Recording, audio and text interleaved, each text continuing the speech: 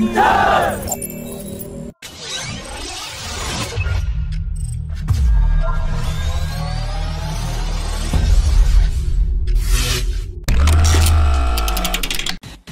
a major development in India's MMRCA program, Russia's MiG Corporation has offered its 4.5 plus plus generation MiG-35 fighter jet with a new advanced AESA radar system, which was unveiled for the first time at the 2019 International Air Show in Russia.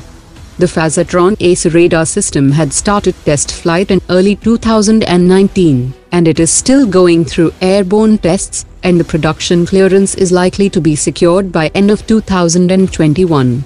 It has extended detection range of over 180 kilometers and can track 30 targets and engage 6 targets at the same time.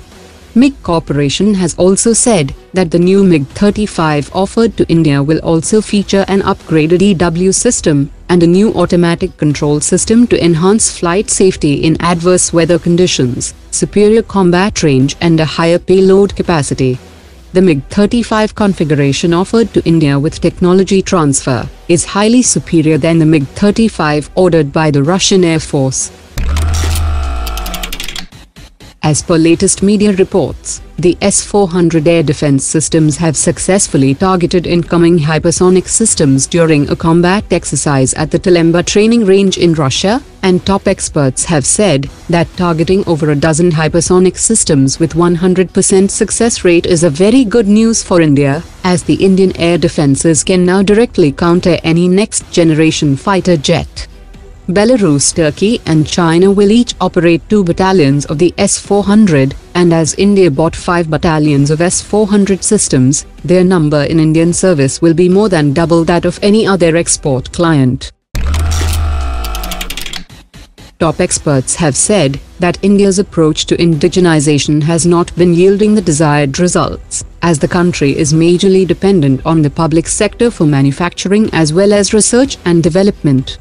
China has opened up the defense industry to private sector for design development and manufacturing, and their armed forces are buying indigenously manufactured products, which are gaining incremental product improvements with the newer variants.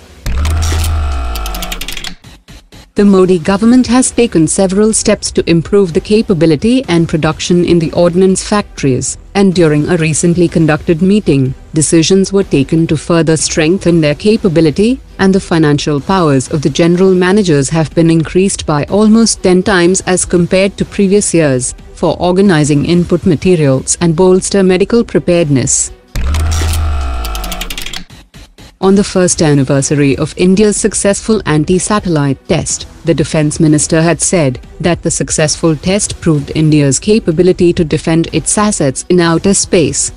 Defense experts have said that India has attained the full capability to target enemy communication military and surveillance satellites. A senior DRDO official has denied any plan of carrying out more anti-satellite missions in the near future, and it is up to the government to decide.